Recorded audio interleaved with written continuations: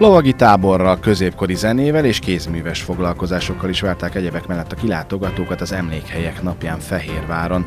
A Nemzeti Örökség Intézete 8 évvel ezelőtt kezdeményezte, hogy nemzeti és történelmi emlékhelyeinknek is legyen egy olyan programja, amely felhívja a figyelmet értékeinkre.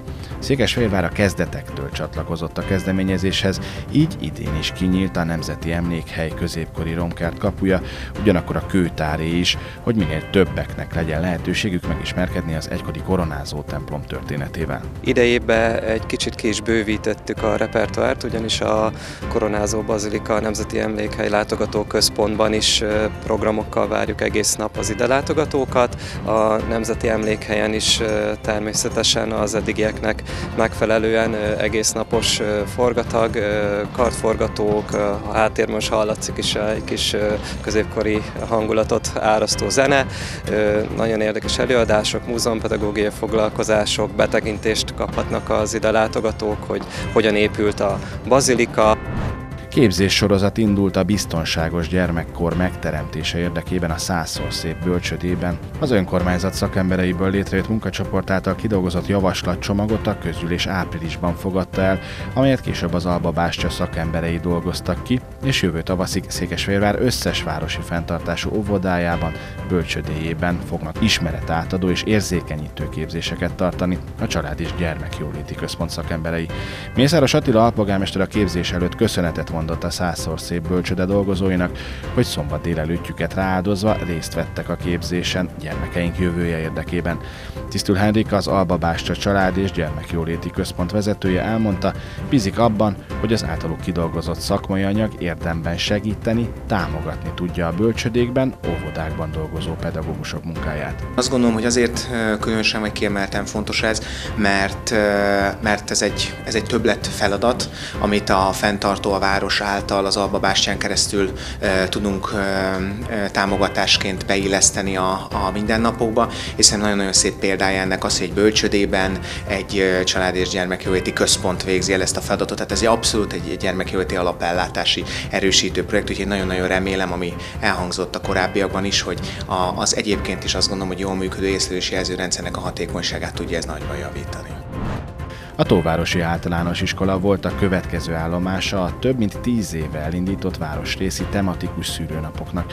Az önkormányzat az egészségfejlesztési irodával karöltve azért indította el a kezdeményezést, hogy minél többen részt tudjanak venni az ingyenes különböző vizsgálatokon, mint például a kardiológiai vizsgálat, az EKG, állapotfelmérés, vokakarindex meghatározás, csontsűrűségmérés vagy a dietetikai tanácsadás. Mészáros Attila, a városrész önkormányzati képviselője elmondta, köszöni azoknak az orvosoknak, nővéreknek és önkénteseknek a munkáját, akik segítenek az egészségnap lebonyolításában, valamint örömét fejezte ki, hogy ekkora érdeklődés övezte az egészségügyi programot, hiszen ez is azt bizonyítja, hogy a városban élők szeretnének tenni az egészségükért. Az egészségfejlesztési iroda koordinálásával komoly eh, lehetőség és rendszer alakult ki e tekintetben a városban.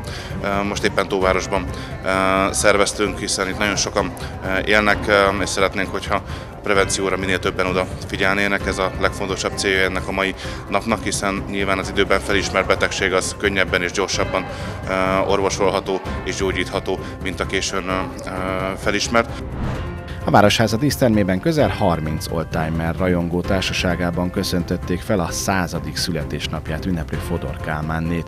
A jeles alkalmon természetesen az ajándékozás sem maradhatott el. Székesfehérvár polgármestere Cserpalkovics András, Deák Lajosné önkormányzati képviselő és a Polski Fiat Klub tagjai egy csokor virággal és emléklappal köszöntötték a veterán autó rajongó Edith nénit, aki még 1972-ben vásárolta máig féltve őrzött gépjárművét a Merkurnál.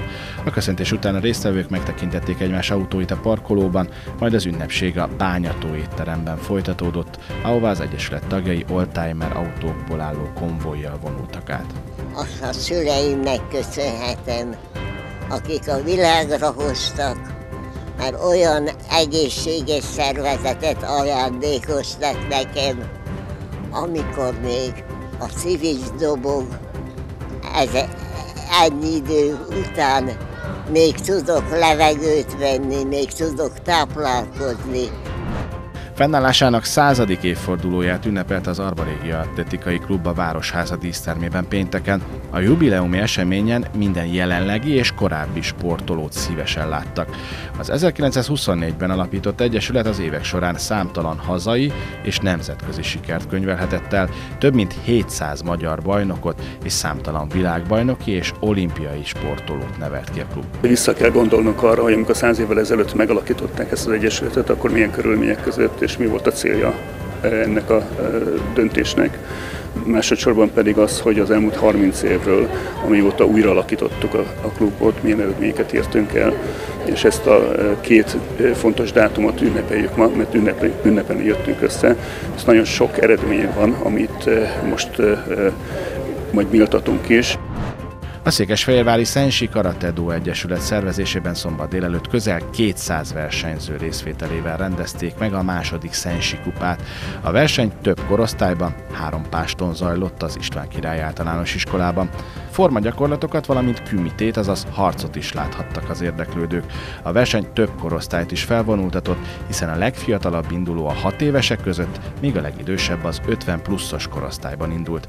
A második Szensi kupa akkora népszerűséget ért el idén, hogy több hazai csapat nevezését csak a helyszín kapacitása miatt nem tudták elfogadni. A karate egyre népszerűbb, és itt Székesfehérváros az a fő célunk, hogy a népszerűsítsük a karatét. Igazából ez egy barátságos verseny, nagyon sok klubban jól vagyunk, és olyan jól sikerült szerintem, és szerintük is az első verseny, hogy a többiek is szerettek volna ennek részese lenni.